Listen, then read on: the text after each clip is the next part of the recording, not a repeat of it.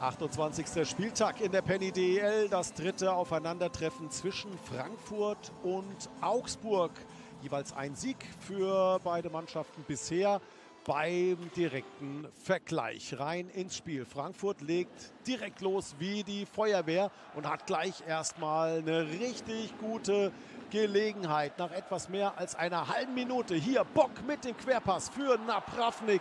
Und was für eine Parade von Markus Keller im Tor der Augsburger Panther in seinem 200. DEL-Spiel. Kurz darauf dann Bulli vor dem Frankfurter Gehäuse. Die Löwen heute mit Marvin Küpper im Tor. Und der muss gleich zweimal richtig gut aufpassen. Augsburg vom Bulli weg mit dem ersten Schuss.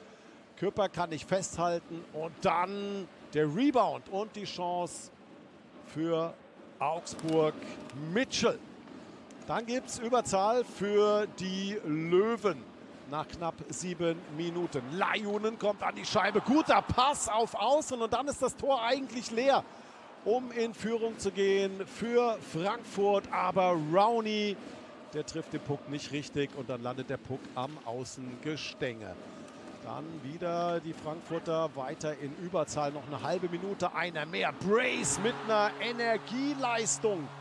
Nimmt erst den Schuss, der wird abgefälscht. Dadurch kann Keller den Puck nicht festhalten. Matuschkins Pass.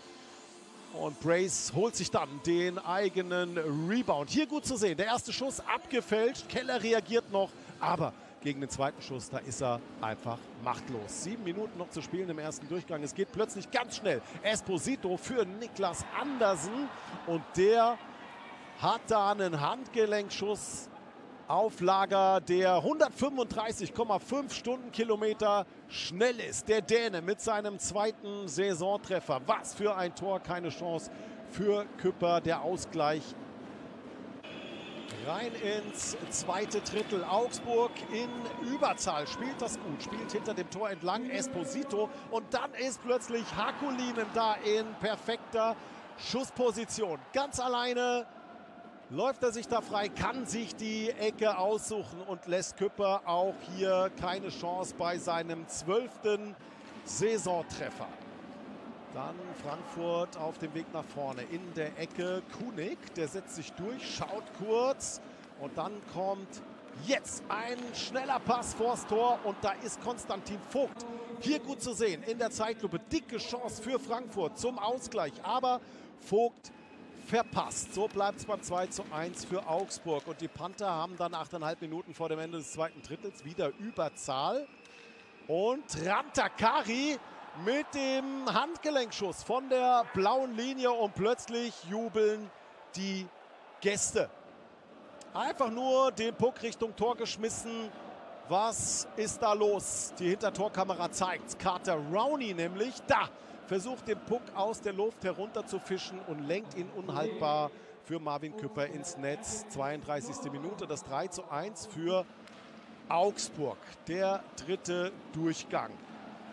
Frankfurt investiert viel. Frankfurt hat diese gute Chance. Markus Schweiger macht da eigentlich alles richtig. Zieht alleine Richtung Markus Keller und die Rückhand. Aber wieder die Fanghand von Markus Keller. Dann nimmt Frankfurt kurz vor Ende den Torhüter raus, hat auch noch Überzahl. 6 gegen 4 auf dem Eis. Der Puck kommt zu Julian Napravnik und der hat es dann leicht mit seinem Treffer in der 60. Spielminute.